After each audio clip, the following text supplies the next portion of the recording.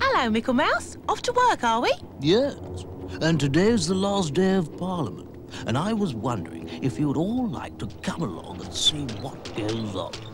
Cool, thanks, Mickle Mouse. We'd love to come. I say, rather. Well, it all sounds very boring to me. We could have lunch there if you want. Lunch? Oh, that gets my vote. Vote, Parliament, get it? I hope you two are going to take this visit seriously. I'm going to take my lunch very seriously.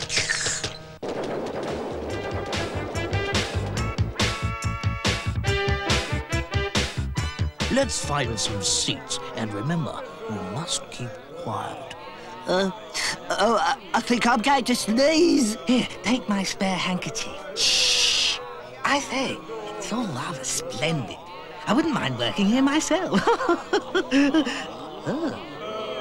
What is it you actually do, Mickle? I was elected to come here and listen to the MPs debating.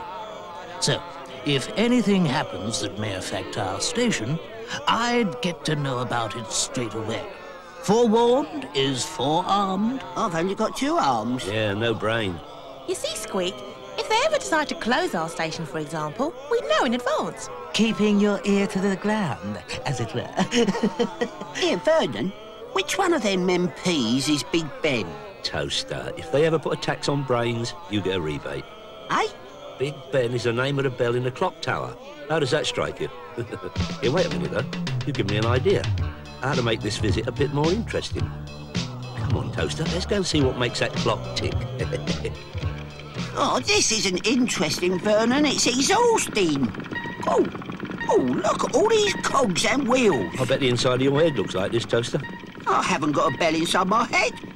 Look at the size of that. Yeah, that's Big Ben. You can hear that all over London when it chimes. Oh, it must be very loud. Yeah, Toaster, I've just had a terrible thought. I wonder what the time is. It must be nearly lunchtime. I think we've dropped a clanger here. Run for it, Toaster. Not that way, you short-sighted pudding. Oh, oh, what's happened? Ah, you've just run out of time. Oh, and on the face of it, so have I. God, this debate sounds important. What's going on? Well, it seems Big Ben has stopped. And they can't go for lunch until the clock strikes one. Of all the days for it to stop, it stops when we're here. Wait a minute.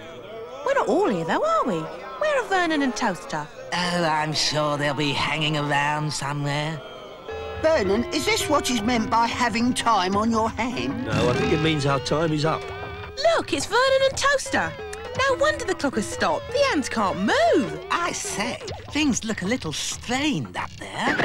Oh, oh, Hold oh. on, hold on, Toaster, oh. hold on. We're about to clock off. Oh, oh, quick, Toaster, get that hanky out. Doesn't time fly when you're having fun? Vernon and Toaster are off to a flying start. Now, next time, Toaster, will you look before you leap? Thanks for showing us around today, Mickle Mouse. Yes, but trust Vernon and Toaster to do something stupid. Yeah, you could say they're as regular as clockwork.